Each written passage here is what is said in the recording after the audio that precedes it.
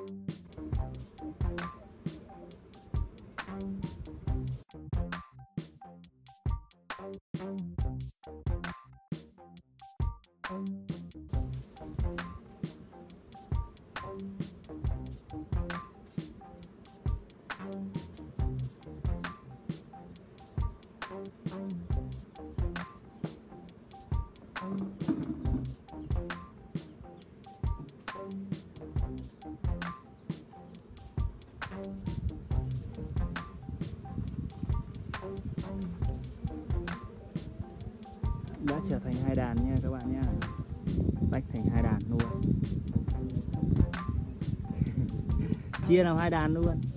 Ngoài kia bắt, phát lại được mấy bầu.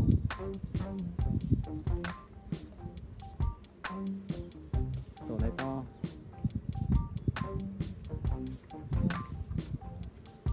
Đã chia thành công. Đây là mũ chúa nhá.